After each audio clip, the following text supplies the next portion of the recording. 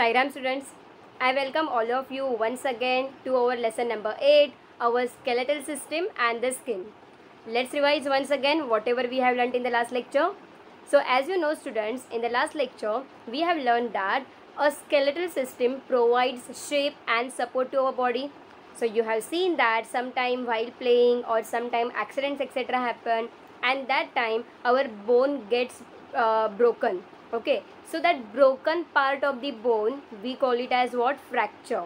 So the broken part of the bone is called as what? Fracture. And if you wants to do the treatment for the fracture then we have to take the x-ray image. Correct? So the x-ray image shows us that where the bone is broken and also it tells us that the spot where the bone is broken so that we can give the proper treatment to the fracture bone. Okay so this is what we have learned in the last lecture.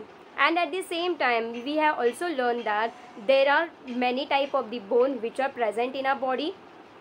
So the different bone which are present in our body they all are of not same shape. Every bone is different. And this bone is giving us the proper shape and support to our body so students and one thing we have already told you that the soft bone which is present in our body the soft bone which is present in our body we call it as what? Cartilage. What we call it as? Cartilage. Okay. So once again as i told you depending upon the shape of the bone we have classified the bones into four parts. Okay. So what are the four parts? Let's see that over here. The first part of the bone is the flat bone. Okay the second type of the bone that is the small bone. Third part of the bone is the irregular bone. And the fourth type of the bone is nothing but what? Long bone. So these are the four type of the bones which are present in our body depending upon its shape and its structure. Okay. So let's learn about this type of the bone once again. So students, as the name suggests that the flat bone as the name suggests it is a flat bone. Flat bone means what? Here you can see that the bone is completely flat. As the bone is completely flat we call it as what? Flat bone. Any bone which is flat surface from both the side. So that particular bone we call it as what? Flat bone. Okay. So do you know that where this bone is present? This bone we call it as sternum. What we call it as sternum? So this bone we call it as sternum which is present in the middle part of the chest. It is present in the middle part of the chest. And this is this is our shoulder bone. Where it is present this shoulder bone? This is present on this side. Okay so this shoulder bone.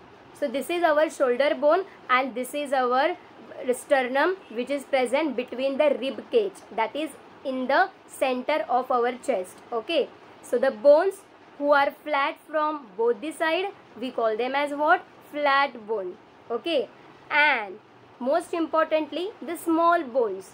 You can see that the bones which have the smaller size the bones which are smaller in size we call them as what? Small bones. So can you see that over here? Many bones are attached together.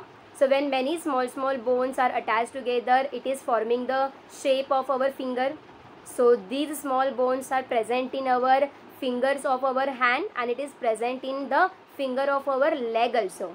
Okay. So these are the small bones which are present in our body. And most importantly here you can see that the irregular bone.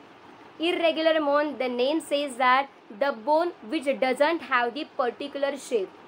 The bone which doesn't have the particular structure we call it as what? Irregular bone. So can you see that here it is a bone which doesn't have the proper shape. Here it is also the bone which doesn't have the proper shape and structure. So this bone is called as what? Irregular bone. So where this bone is present? This bone we call it as what? Vertebrae. What we call vertebrae. Where it is present? It is present in our backbone region. So our backbone, our backbone or our spine, it is made up of this part of the bone and this bone it is present in our waist region. It is also called as the hip bone as well. Okay so the bone which doesn't have the particular shape and structure we call it as what? Irregular bone. And the last part of the type of the bone it is called as what? Long bone. What do you mean by long bone? The bone which doesn't have the proper shape means what? The bone which are longer in size the bone which are longer in size. They are called as what? Long bone. So where these long bones are present? Of course these long long bone are present in our hand region. So in our hand region the long bone is present. Even this long bone is present in our leg region.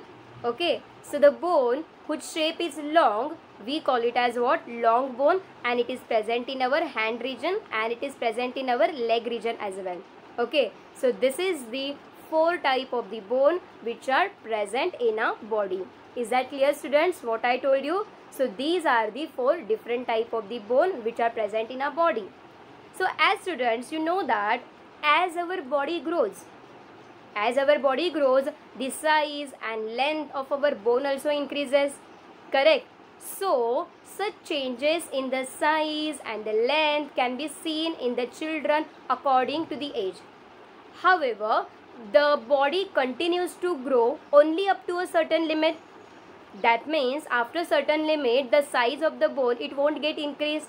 So the size of the bone it will get increased only from childhood to adulthood. So after that there will be certain kind of the limitation. Am i right? And our size of our bone it depends upon this uh, size of that person. Like let's say for example if the person is taller the bone size it will be taller in that person. Let's say for example if the person is shorter then that person will be having the short bone in his body. Okay? So depending upon the person's height the shape and the size of the bones it will differ according to the person to the person. Is that clear? So here you can see that again we have divided the total human skeleton into two parts just now we spoke about the types of the bone depending upon its shape. Correct. Right now we are going to talk about the bone part which we have divided into two equal parts the whole skeletal system. The whole skeletal system of our body we divided into two equal parts. Okay. So what are the classification of the bone depending upon the skeletal part? So here you can see that one type it is called as what? The axial skeleton. The axial skeleton. Now what do you mean by axial skeleton? Axial skeleton means what? The center part of our bone. Okay? The bones which are accumulated in the center part. It is called as what? Axial skeleton. Now second part it is called as what? Appendicular skeleton. Appendicular skeleton means what? The bones which are on the sides the bone which are on the side region our hand and our leg. They are on the side from the center. Okay. So it is called as what? Appendicular skeleton. The bones which are present in the center of our body. The bone which are present in the center of our body we call it as axial skeleton. And the bone which are present on the side of our body it is called as what? Appendicular skeleton. Okay so now we shall learn about one by one what is axial skeleton and what is appendicular skeleton. Okay. But before that, let's see that in axial skeleton what all parts comes.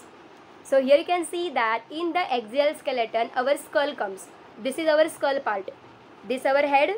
This our head part. This head bone. Okay. It is called as what skull. So the skull comes into the center part or axial skeleton as it is present in the center of our body. Okay the skull comes under the axial skeleton. After that the spine. Spine means what? So in our head region from the back the central part of our back it is called as what? Spine means what? Backbone. Spine means what? Backbone. So our backbone also comes under the axial skeleton. And at the same time our rib cage the chest bone. Okay the chest bone the rib cage it will come under the axial skeleton. Is that clear so the bones which are present in our central vertical axis, they are called as what? Axial skeleton. So in axial skeleton, who all comes? The skull, the spine and the rib cage, they all will come under the axial skeleton. So can you see who all will come under the axial skeleton? So our this skull part, our skull and the facial expression everything so this skull part will come under the axial skeleton. Then after that, our spine. Spine you can see here in the center. Here in the center part, the backbone part. From the back side the spine will come under the axial skeleton. And at the same time here you can see that our rib cage. Can you see the chest part over here? So this rib cage. So rib cage spine and the skull it will come under the axial skeleton. Did you understand who all will come under the axial skeleton and the next part we are going to discuss here about the appendicular skeleton. So in appendicular skeleton it's very easy to memorize the part of the bone which are attached to the central part. So the our hands okay? So our hands are attached to here into the central part. So our hands will come under the appendicular skeleton and our leg. Leg are also attached to the central part of our body. So the leg and hands so leg and hands they will come under the appendicular skeleton. Are you getting my point over here? So our arm region. So our arm region it will come under the appendicular skeleton. And at the same time our leg region. This is our knee part. This is our knee part and this is our thighs part and this is your our legs part. Okay? So legs and the arms they will come under the appendicular skeleton. Is that clear? Okay? So now let's see here once again in axial skeleton who all comes here. So can you see that over here? In the axial skeleton the skull part okay? So in the skull part who comes here? So this is our skull part over here. As you can see that this skull what is a uh, how this skull is made up of? A skull is made up of bones of our head and face okay? The skull is made up of the bones of our head and the face. This is our head part and this is our face part. So the face bones and the head bones together form our skull. Is that clear? Are you getting my point? and most importantly the bones of our skull are they are flat. And the skull is protecting the soft organ which we call it as what? Brain. Okay? So the important function of our skull is that to give protection to our brain. Is that clear? So this is our skull part now do you know that in our skull in our skull total 22 bones are present? How many bones are present in our skull? 22 and out of 22 if you can see that over here 8 bones are present in our head region. 8 bones are present in our head region and 14 bones. 14 bones are present in our face region. Got it? And only our lower jaw only our lower jaw it is movable and all parts of the bone it is not movable. See when we talk when we eat our only this lower jaw is movable no? So only this lower jaw of this skull is movable. Remaining all type of the bone they are not movable at all. Understood? So only lower jaw is movable. Everything it is not movable. Is that clear? So did you understand about this skull? Skull is made up of head and face bones head skull has total 22 bone. Out of 22 8 are present in the head region and 14 are present in the face region. Is that clear? And the next part here you can see that the spine. Okay spine means what? Backbone. Okay spine means what? Backbone. So in backbone if you can see that there is one soft bone uh, which is very hard. Uh, there is one padlock uh, shaped bone which is placed right one above the another and when this padlock shaped bone arranged upon one after another they give rise to the spine or they give rise to the backbone. So can you see here the padlock shape of the bone here? So this is how the padlock shape bones comes looks like. So when these padlock shape bones arranged on one above another they give rise to the vertebral column. Okay? So here you can see that uh, vertebral column somehow looks like this so this is how our vertebral column or backbone looks like. And do you know that there are total 33 bones are present in our backbone? And backbone generally we call it as spine as well. Is that clear? And each vertebrae there are total 33 bones are present in the spine and that is called as what? Vertebrae. And what is the function of the uh, basically spine? The spine protects the spinal cord what is spinal cord? Spinal cord there is one delicate uh, organ. There is like our brain there is one more delicate organ which arises from our skull which arises from our brain region okay? So to give protection to the spinal cord the vertebral column is there. So vertebral column is providing protection to our spinal cord and this spinal cord originates from the brain is that clear are you getting the point of what is exactly the function of vertebral column? Okay. Now the thing which we are going to learn about the axial skeleton that is the rib cage. What is exactly meaning of the rib cage? There is one cage like structure which is present in the chest. So there is a cage like structure. If you keep your hand on your chest you can see that the cage like structure. So the cage like structure which is present in your chest part we call it as what? Rib cage. What we call it as? Rib cage. So somewhat rib cage looks like this. So this is called as what? Rib cage. What we call it as? Rib cage. And this rib cage here in the central part in our chest central part this is called as what? Sternum. What we call it as? Sternum. And this is called as what? Rib cage. Are you getting my point over here guys? Okay. And do you know that there are total 20, 12 pair 12 pair of flat bones are present in our rib cage. See 12 pair. One pair means two bone. So when i am saying 12 pair 12 pair matlab means how much? 24 and along with the sternum it is forming 25 bones. So total 25 bones are present in our rib cage and they all are you can see that over here total 25 bones are present in our rib cage part. Okay so now students let's talk about the rib sternum first so as you can see that in the chest there is one vertical flat bone in our chest part there is one vertical strong bone which is present in the center of our rib cage so the bone which is present in the center part of our rib cage, we call it as what? Sternum. What we call it as sternum. And the sternum, it looks like like this. Okay. So this is called as what? Sternum. And on sternum, the rib cage are attached. Understood? So, I hope so students you must have understood about what are the rib cage and etc. So let's revise once again what we have learned today. So today we learned that depending upon the shape of the bone, the bones are classified into four parts. Flat bone, small bone, irregular bone and the long bone. So as name says that the bones which are flat, we call them as flat bone. The bones which are smaller in size, we call them as small bones. And the bones which doesn't have the proper shape, we call them as what? Irregular bone and the bones which are longer in size we call them as what long bones and what else we learned today we learned that our human skeletal system it is divided basically into two parts okay one is the axial skeleton and the second is the appendicular skeleton. What do you mean by axial skeleton?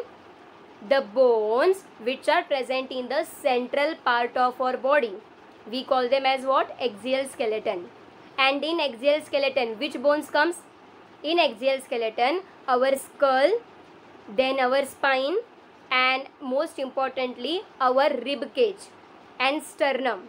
They all comes under the axial skeleton and in appendicular skeleton who comes in appendicular skeleton our hand region and our leg region they comes under the appendicular skeleton is that clear students so I hope so. Today we discussed about the type of the bone and about the axial skeleton and uh, the next part of the appendicular skeleton we will discuss in the next session. Bye bye. Take care.